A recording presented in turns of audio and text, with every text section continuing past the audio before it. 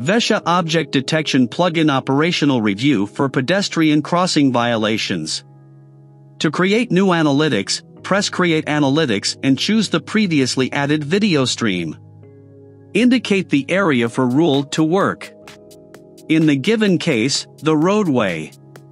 Mark the necessary area.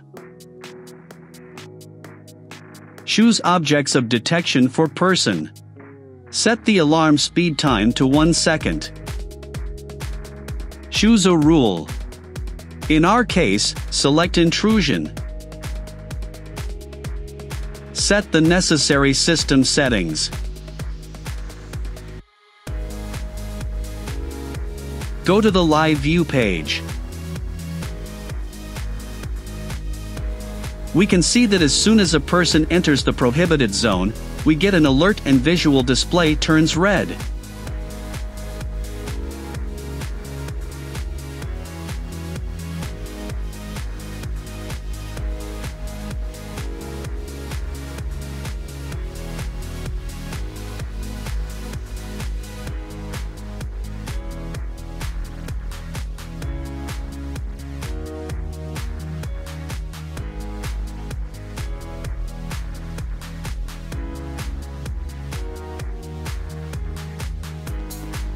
In the Events tab, we can view the history of previous events for all the cameras.